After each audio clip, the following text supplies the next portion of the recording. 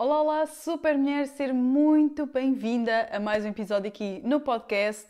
Hoje vamos estar a falar sobre algo que pode estar a bloquear a tua vida, pode estar a bloquear a tua jornada rumo aos teus sonhos, rumo aos teus objetivos. Alguma vez sentiste que tu tinhas potencial para atingir os teus objetivos? Achas que és capaz de realmente conseguires atingir os teus objetivos? Achas credível tu conseguires lá chegar? No entanto, há alguma coisa que enfim, te está a bloquear, que tu não consegues ultrapassar para realmente chegares onde tu queres chegar? Muito provavelmente aquilo que te está a bloquear é uma crença limitante. Ok, nós vamos falar sobre crenças limitantes e de que forma é que as crenças limitantes estão a bloquear e a impedir de chegares realmente onde tu queres chegar aos teus objetivos. Eu vou partilhar contigo como é que elas surgem uh, e, mais importante ainda, como é que nós podemos ultrapassá-las, porque ter consciência de que existem crenças limitantes é bom, mas nós precisamos de as ultrapassar para realmente chegarmos onde nós queremos chegar e chegarmos aos nossos sonhos e aos nossos objetivos para torná-los realidade. Houve vários momentos da minha vida em que eu senti que realmente eu tinha objetivos que eu sabia de alguma forma que eh, era possível para mim lá chegar. Mas havia sempre alguma coisa que me impedia de avançar. Olha, e um dos grandes exemplos que eu te posso dar neste momento é o meu canal de YouTube. Eu sabia que era algo que eu gostava, eu adorava ver vlogs no YouTube de outras pessoas, eu gostava de ver vídeos no YouTube. Uh, foi algo também passado pelo Sérgio, pelo meu marido, uh, que ele adorava ver uh, e adora, ainda hoje adora ver vídeos no YouTube. E eu comecei a ver com ele e comecei a pensar: Fogo, era giro fazer uma coisa destas, era giro ter um canal de YouTube. Eu gostava de partilhar a minha vida também com as pessoas, mas nunca, nunca conseguia colocar em prática. Achava, achava giro, mas havia alguma coisa que me bloqueava, sabem? Havia alguma coisa que eu sentia era agir, mas não era o suficiente para eu conseguir agir e colocar em prática um, tudo aquilo que eu sabia que tinha que fazer para conseguir ter um canal de YouTube. E foi aí que eu comecei a perceber que eu tinha muitas crenças limitantes relativamente a isto. E isto não foi só no canal de YouTube, foi quando eu comecei o meu negócio, quando eu comecei a minha jornada de perda de peso, quando eu comecei um novo relacionamento com o Sérgio neste caso. Foi, enfim, em todo, todos os objetivos foi a mudar de casa, foi quando engravidei ou decidi que queria engravidar uh, do meu primeiro filho. Portanto, as nossas crenças limitantes, elas estão sempre presentes, principalmente quando nós, principalmente, um, ehm, queremos atingir um objetivo e parece que não conseguimos agir para lá chegar, a probabilidade de aquilo que nos está a bloquear ser uma crença limitante é muito grande. E por isso eu queria partilhar contigo neste vídeo como é que nós podemos ultrapassar as crenças limitantes? Primeiro e antes de tudo, o que é que é isto de uma crença limitante? As crenças limitantes são pensamentos, são ideias que nós temos sobre nós, sobre o mundo à nossa volta, sobre os outros, sobre as nossas capacidades e elas bloqueiam-nos, elas não nos deixam avançar rumo àquilo que são os nossos objetivos. Vou dar aqui alguns exemplos uh, reais, porque são exemplos meus, mas também são exemplos de, da maior parte das pessoas com quem eu trabalho têm este tipo de crenças limitantes. Por exemplo, eu não sou boa o suficiente para fazer isto, eu não sou capaz, eu nunca vou conseguir, eu não sou capaz de mudar, eu não consigo alcançar os meus objetivos. Isto tudo são crenças limitantes, são coisas, são pensamentos que nós temos sobre nós mesmas, neste caso, e que nos impedem de chegar aos nossos objetivos. Repara numa coisa, se tu pensares que não és capaz, então, muito provavelmente, tu não vais fazer nada para, para chegar aquele objetivo, não é? Se eu pensar que eu não sou capaz de gravar um vídeo para o YouTube, então eu nem sequer vou agir, não é? Eu nem sequer vou fazer nada para conseguir uh, alcançar esse potencial objetivo que eu teria. Alguns sinais de que podes ter crenças limitantes e que te estão a impedir de atingir os teus objetivos.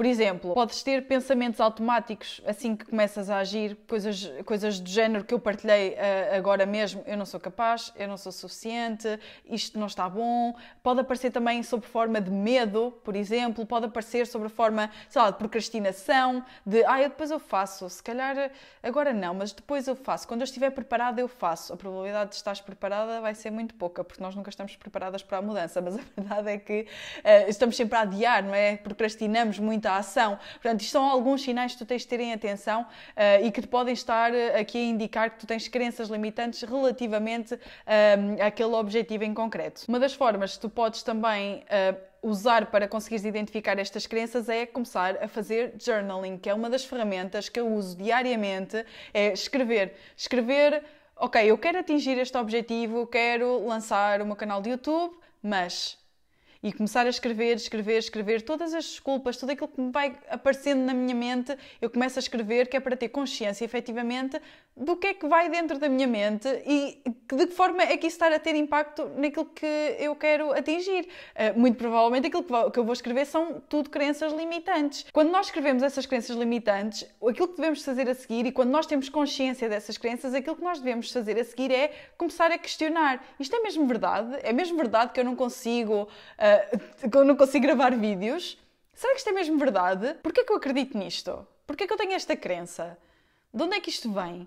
Porque muito provavelmente isso vem ou do teu passado, de, de evidências que tu tens do passado, de coisas que aconteceram na tua vida e que te fazem pensar e que te levam a pensar que tu não és capaz de gravar vídeos. Então começar a explorar aqui um bocadinho de onde é que estas crenças vêm, de onde é que isto vem. Primeiro ter consciência e depois começar então a questionar essas crenças. E logo a seguir nós temos que mudar a nossa perspectiva. Ou seja, imagina que tu achas então que não consegues começar uh, o teu canal de YouTube? Vamos falar de negócio. Imagina que tu, começa, que tu pensas que não és capaz de começar o teu negócio. Eu não, eu não sou capaz de começar o meu negócio. Temos que mudar aqui um bocadinho a, perspectiva. Eu não estou a dizer para mudar a perspectiva do Uh, eu não consigo para, ah, eu consigo montar o meu negócio com toda, com toda a certeza absoluta e toda a autoconfiança do mundo, eu vou conseguir. Eu não estou a dizer para passar do não consigo para eu consigo com toda a certeza absoluta, mas se calhar mudares isto para uma questão vai-te ajudar muito, porque a nossa mente ela vai querer responder a, a, às questões. Quando nós dizemos eu não consigo, acabou. Não acontece mais nada. Mas se nós mudarmos isso para uma questão,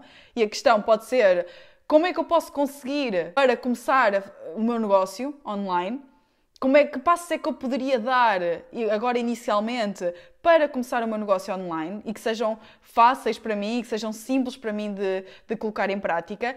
Se tu colocares esta questão no, no teu journal e começares a responder, vais, vais começar a lembrar de muitos passos, de muitas coisas que tu podes começar a fazer. E isso já demonstra que efetivamente tu és capaz de começar um, a fazer o teu, a começar a ter o teu negócio online. Ok? Então, mudar aqui a perspectiva, não estou a dizer do 8 para o 80, porque isso nem sequer, é, nem sequer é bom para ti, porque tu passares de eu não consigo para eu consigo com toda a certeza absoluta, a tua mente vai-te logo dizer isto é treta, tu não consegues, lembras? Tu tens aquela crença a dizer que não consegues, então tu não consegues, então é muito. a probabilidade de falhares a fazer isto é muito grande, mas mudar para uma questão vai te ajudar certamente a tu ultrapassar as tuas crenças e a dar estes primeiros passos para ultrapassar as tuas crenças. Depois, super importante, questionar sempre as tuas crenças. Isto é mesmo verdade? Isto é mesmo verdade? Porquê é que eu acredito nisto? Que evidências é que eu tenho disto? O que é que eu posso fazer para começar aqui a duvidar desta crença? Porque esta crença não me está a apoiar. Então eu quero começar a duvidar dela, que é para realmente ter uma crença que me apoie, uma crença potenciadora. Por exemplo, se tu és como eu e acreditas que não és boa o suficiente, que tudo o que fazes não é suficiente, como eu era, porque hoje em dia já estamos muito melhores porque tenho feito este trabalho que estou aqui a partilhar contigo. Então poderá ser útil, por exemplo, tu te começares a questionar, ok, o que é que eu já alcancei na minha vida? Que coisas é que eu alcancei na minha vida? O que é que eu já fui capaz de fazer? Que situações difíceis é que eu já ultrapassei? O que é que eu já conquistei na minha vida, muitas vezes? Ok? E isto vai te ajudar então a tu trazeres evidências de que realmente és boa o suficiente e que tu consegues fazer as coisas. Depois, reprogramar a nossa mente, claro. Eu gosto muito de usar as afirmações positivas mas temos que sempre ter atenção de não ser só dizer a afirmação positiva. Nós precisamos da afirmação positiva, sim, mas sempre acoplada de várias coisas. De emoção, ponto número um, de como é que eu me sinto uh, quando digo aquela, aquela afirmação positiva. E depois também precisamos de ação para nós comprovarmos aquela afirmação positiva e se transformar numa crença. Por isso, dizer uma afirmação positiva é bom mas nós, para realmente transformarmos a nossa vida, precisamos de emoção juntamente com essa crença e precisamos também de ação para começarmos a, a, arranjar formas de criar evidências para comprovar de que aquela afirmação é verdadeira e para que ela depois se transforme numa crença.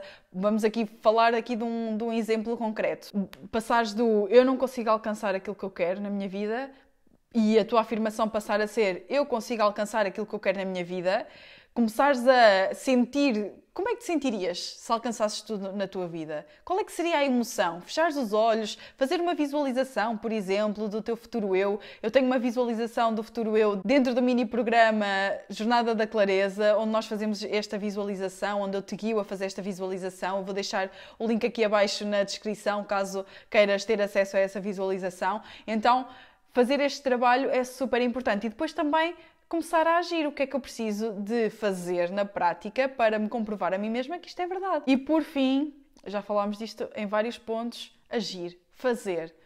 Põe em prática. Quanto mais tu puseres em prática, mais confiança tu vais ter em ti mesma, mais tu vais conseguir começar a aprender com os erros, e quando aprendes com os erros, começas a evoluir, começas a fazer melhor, começas a caminhar rumo aos teus objetivos, rumo àquilo que tu queres alcançar, ok? Mas é importante tu agires, tu fazeres.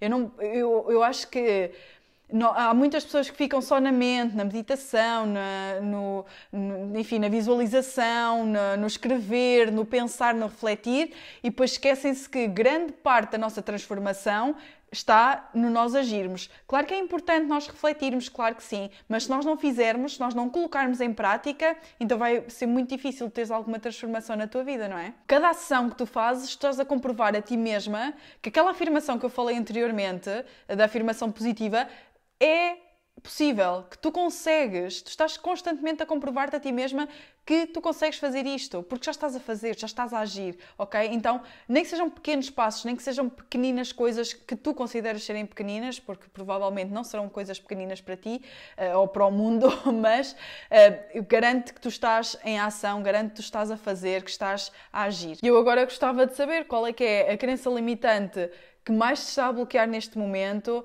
Partilha comigo aqui abaixo nos comentários, eu gostava muito de saber. Gostava também de saber como é que tu vais começar a mudar isso. Eu deito aqui várias estratégias, vários passos. Começa por um, começa por uma coisinha. Podes começar até pela afirmação, por exemplo. Podes começar por mudar a tua perspectiva. Por onde é que tu vais começar? Podes começar até por começar a fazer o journaling, por exemplo. Por onde é que tu vais começar? Mas começa, age. Não te esqueças que sem ação não há resultado. Então, bora lá agir? Vamos lá. Espero que este episódio de podcast tenha ajudado muito e que realmente tu estejas no caminho alavancado para assumires o controle da tua vida, para ires de encontro aos teus objetivos, para ires de encontro à tua vida de sonho. É para isso que nós aqui estamos, não é? Eu, pelo menos, eu acredito nisso. Um grande, grande beijinho e voltamos-nos a ouvir no próximo episódio de podcast.